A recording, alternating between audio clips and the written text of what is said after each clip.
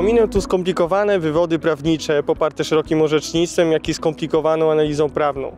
Mówimy tu o prostych argumentach, zrozumiałych dla każdego przeciętnego konsumenta. A są to wystawienie konsumenta na nieograniczone ryzyko walutowe oraz brak doręczenia treści wzorca w czasie pozwalającym na swobodne zapoznanie się z jego treścią. Bank wystawił kredytobiorców na nieograniczone ryzyko zmiany kursu walutowego. Oczywiście konsumenci brali pod uwagę ryzyko zmiany wartości waluty kredytu.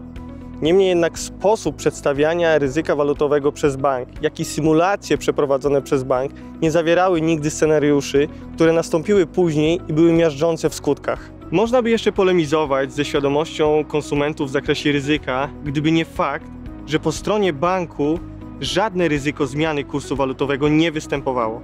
Bank zabezpieczył swoje ryzyko w 100%. Pracownicy banków zeznają nawet, że gdyby bank tego nie zrobił, nigdy takiego kredytu by nie udzielił. Konsumenci nie znali ryzyka wynikającego z mechanizmu waloryzacji, a nawet gdyby je znali, nie byliby w stanie się przed nimi zabezpieczyć. Produkty zabezpieczające ryzyko banku w postaci CIRS bądź pożyczek międzybankowych nie były i nadal nie są dostępne dla konsumentów. Przy założeniu ciągłego wzrostu ceny waluty kredytu, bankructwo konsumentów jest tylko kwestią czasu. Problemy ze spłatą kredytu frankowego pojawiają się już teraz średnio po 1 trzeciej okresu trwania kredytu. Pracownicy banków zeznają, iż nawet oni nie byli świadomi realnego ryzyka walutowego, przez co nie byli w stanie o nim powiadomić konsumenta.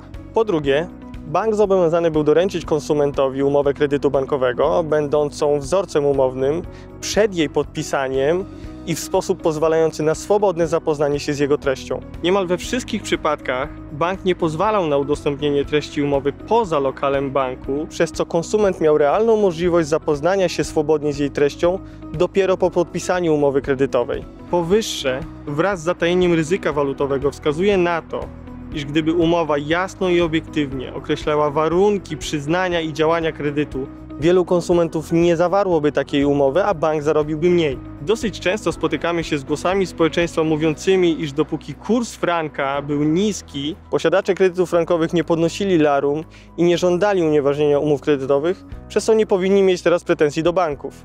Proszę mieć jednak na względzie, iż bank określił zdolność kredytową według własnego algorytmu, przyznając kredyt frankowy osobom, które nie kwalifikowały się do przyznania kredytu w złotówkach. Następnie zażądał spłaty w wysokości, która by nie pozwalała na przyznanie tego kredytu w pierwszym rzędzie. Bank zapewnił więc kredytobiorców o możliwości spłaty kredytu i atrakcyjności swojej oferty, która później okazała się pułapką. Podsumowując, jednym z najważniejszych argumentów w sporach z bankami jest ogromna różnica między ryzykiem, na jakie wystawiony był konsument oraz bank.